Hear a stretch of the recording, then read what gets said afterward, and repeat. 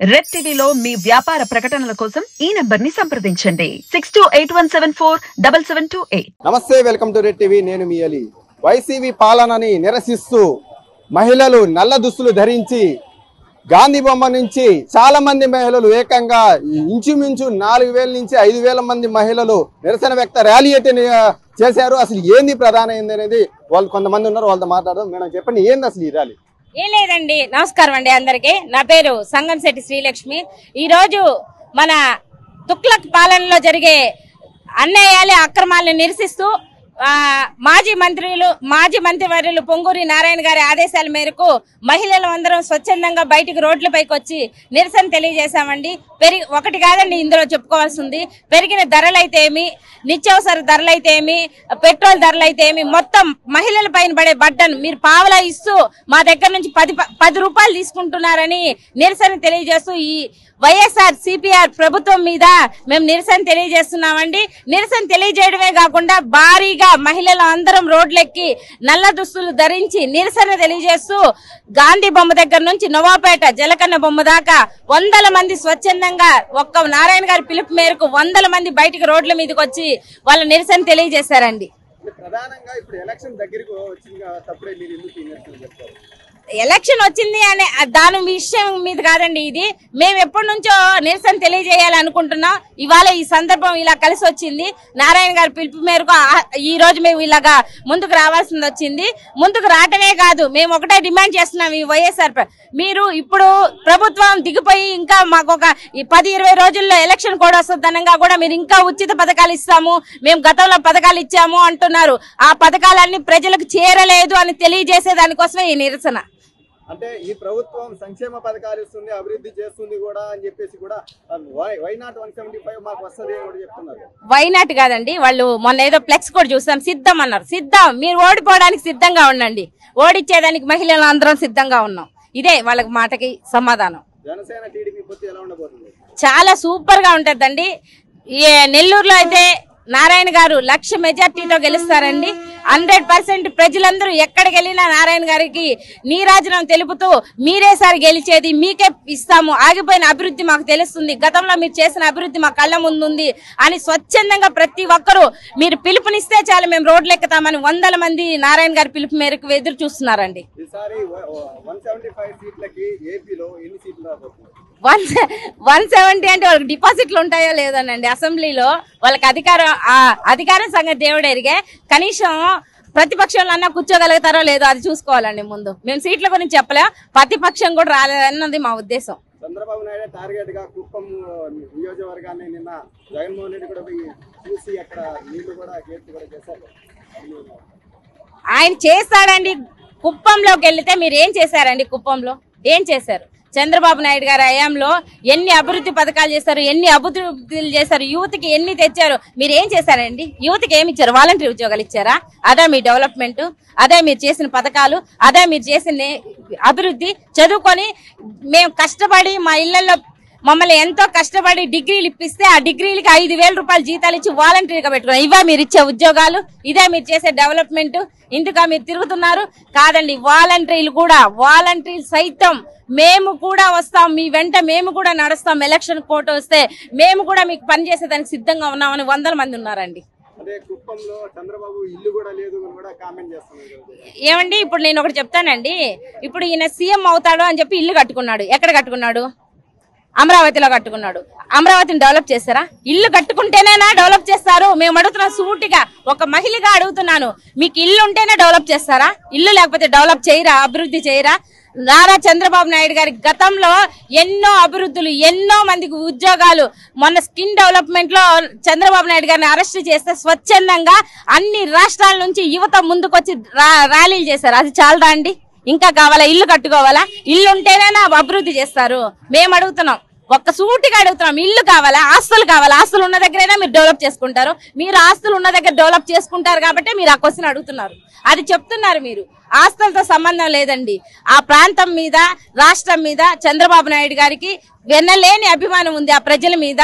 ఆ కుటుంబం మా కోసం కష్టపడేందుకు ఇవాళ నారా భువనేశ్వరమ్మ గారు కూడా మా పరామర్శ పేరుతోటి బయటకు వస్తున్నారు. స్త్రీశక్తి రూపంతో వాళ్ళ కోడలు బయటకు వస్తున్నారు. ల- యువగలం తోటి లోకేష్ గారు బయటకు వస్తున్నారు. ఇంతమంది వాళ్ళ ఫ్యామిలీ మొత్తం మా కోసం కష్టపడుతుంటే మేము బాబు గారి కోసం నడవలేమా అండి? మేము నడుస్తాం. మేము కాదు మాతో మా వెనకాల లక్షల మంది నడిచేలా చేస్తాం మేము వార్ వన్ సైడ్ అండి. ఇంక సిద్ధం ఉండదు.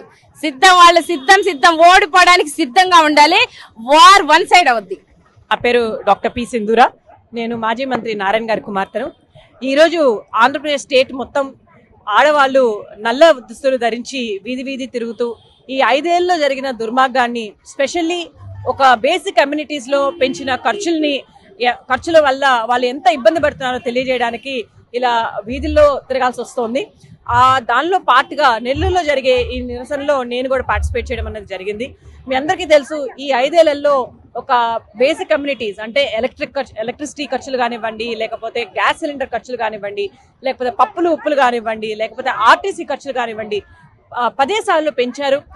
అలా పెంచడం వల్ల వాళ్ళు ఎంతో ఇబ్బంది పడుతున్నారు. అన్ని ఫ్యామిలీస్ అలాగే స్పెషల్లీ ఆడవాళ్ళు బికాస్ ఇంటి ఖర్చులన్నీ వాళ్ళే చూస్తారు కాబట్టి ఎంతో ఇబ్బంది పడుతున్నారు. ఒక చోట నుంచి ఇంకో చోటకి వెళ్ళాలంటే ఎందుకు ఆగిపోతున్నారు. అలాగే రా- రాత్రి పూట వాళ్ళకి కరెంట్ లేకపోవడం వల్ల వాళ్ళు కనీసం కుక్ చేసుకోవడానికి కూడా వంట చేసుకోవడానికి కూడా వీలు లేకుండా ఉంది. ఇట్లాంటి ఇబ్బంది పడుతున్నందుకు అది గవర్నమెంట్కి తెలియజేయాలి. ఈ ఐదేళ్ళలో జరిగిన దుర్మార్గాన్ని తెలియజేయాలని ఈ రోజు ఈ నల్ల దుస్తులు వేసుకొని వీధి వీధి తిరగడం అన్నది జరుగుతోంది. దాంతో భాగంగా నెల్లూరులో జరిగే కార్యక్రమంలో నేను పార్టిసిపేట్ చేశాను. డెఫినెట్గా ఈ టూ మంత్స్లో టూ మంత్స్ తర్వాత జరిగే ఎలక్షన్లో వీట ఇలా జరిగిన తప్పులన్నిటికీ సమాధానం చెప్తూ ఆంధ్రప్రదేశ్లో జనాలు మొత్తం మళ్ళీ టీడీపీని మంచి మెజార్టీతో గెలిపిస్తారు. చంద్రబాబు నాయుడు గారు సీఎంగా వచ్చి నారాయణ గారు లాంటి మంచి మెంబర్స్ని ని తీసుకొని ఇలాంటి తప్పులన్నీ కరెక్ట్ చేస్తూ మనుషులకు కావాల్సిన ఆంధ్రప్రదేశ్ జనాలకు కావాల్సిన కరెక్ట్ బేసిక్ కమ్యూనిటీస్తో పాటు ఈవెన్ మిగతా ఎమ్యూనిటీస్ కూడా కరెక్ట్గా అందజేస్తారని నా కాన్ఫిడెన్స్ తెలియజేస్తున్నాను. థ్యాంక్ యూ ప్రజాస్పందన చాలా బాగుందండి. మీరే చూశారు.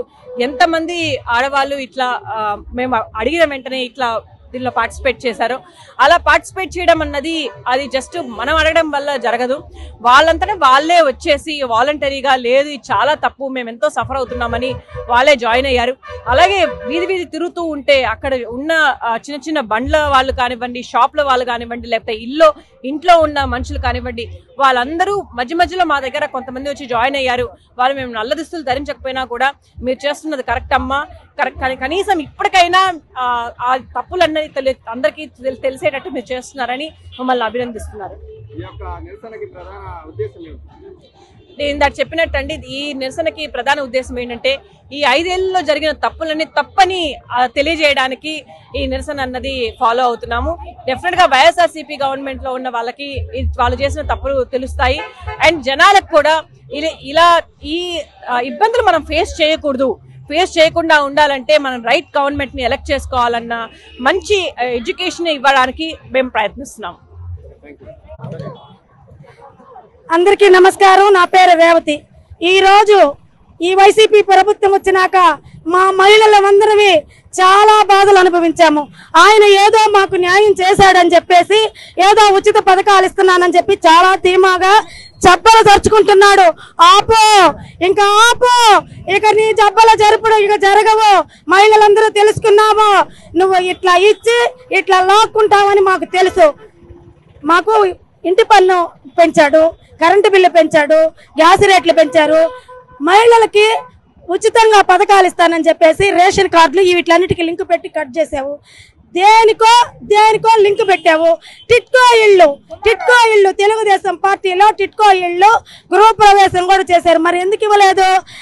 కట్ చేసావు దేనికో దేనికో లింక్ పెట్టావు. టిట్కో ఇళ్ళు టిట్కో ఇళ్ళు తెలుగుదేశం పార్టీలో టిట్కో ఇళ్ళు గృహ ప్రవేశం కూడా చేశారు. మరి ఎందుకు ఇవ్వలేదు? అది నీ అబ్బ సొత్తా? ఎవరు అడుగుతున్నా? అది ఎవరు ప్రభుత్వం సొమ్ము? మా మహిళల సొమ్ము. మా మహిళలకు ఇచ్చేదానికి నీకేంటి నొప్పి అని అడుగుతున్నా. ఇప్పుడు తగుదనమ్మా అని ఎలక్షన్ వస్తుందని మా మహిళలందరినీ పిలిపించి ఎండలో నుంచోబెట్టి ఉత్తత్తగా దొంగ పట్టాలు ఇచ్చి పంపేస్తావా? జగన్మోహన్ రెడ్డి అయిపోయి అయిపోయింది నీ చరిత్ర. నీ చరిత్ర నీ కథకు ముగింపు రాస్తున్నాము.